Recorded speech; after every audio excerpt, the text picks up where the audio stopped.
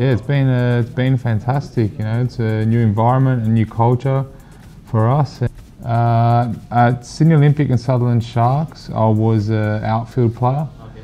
And then uh, when I was 14, I went in goals uh, because of an injury at the start of the season. Uh, I was taller than everybody else.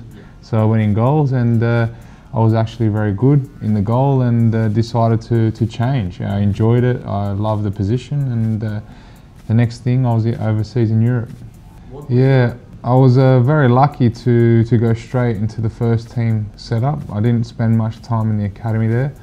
Uh, I got to learn off fantastic players like Gerrard, Torres, uh, Suarez was there as well. And uh, you know, when you're around these people, you see uh, how professional they are and, and how amazing they are as a, not only footballers but, but, but people as well.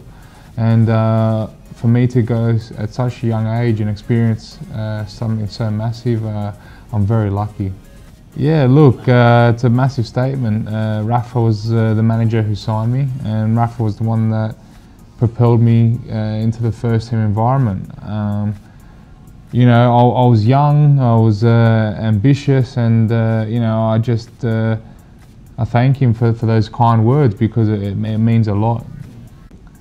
I wouldn't say anything really went wrong. It's, uh, it's such a massive club, and they, they, they buy the best players in the world. Uh, it got to a situation where I was there for six or seven years, and I, I decided that I needed to play uh, first team football.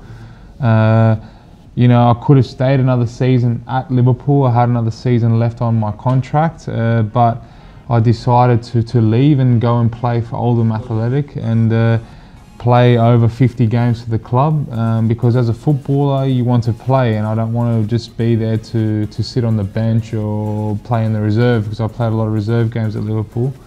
Uh, so it was a decision that I made, whether it's right or wrong is another thing, uh, but to, to, to try and play some football. Yeah, it was amazing. I had an amazing time at Oldham. It's a club that I, I uh, hold close to my heart. Uh, I've had a massive memories there and played in massive games in the FA Cup for that team, and uh, it was a fantastic experience um, and one that I look back fondly on.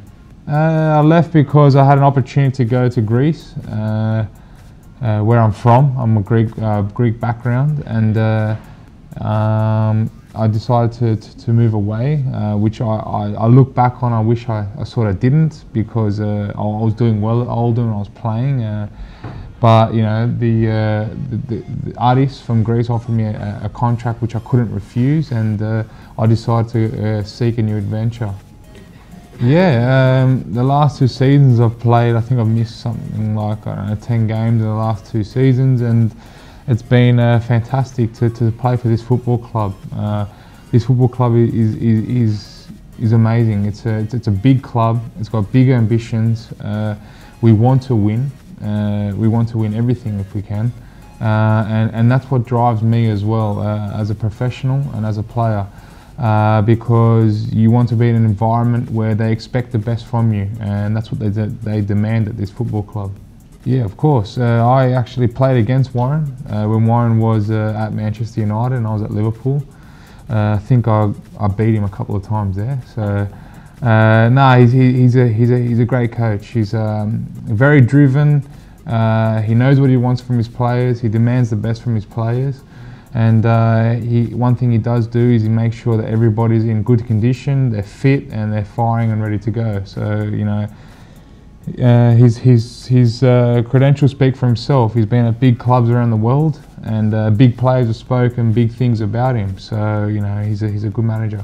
Uh, I watched the, I've watched a few games uh, on the TV. Um, I don't really know many players, but I know that that that, that the, the standard here is is very good, and uh, the support is very loyal. Uh, and that's what that's what makes football. Without their fans, uh, football is nothing. Uh, so you know, it's, it's going to be a very exciting time ahead. Girona is a, is a famous football club. They play in the La Liga and uh, they finished 10th last season in the La Liga, which is one of the best leagues in the world. Uh, they have top quality players.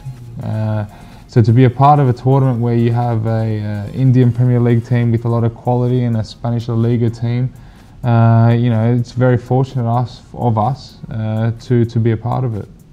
Uh, for me, um, I've got big ambitions to, to go back overseas to Europe. I'm, still only 27 uh, for a goalkeeper that's relatively young.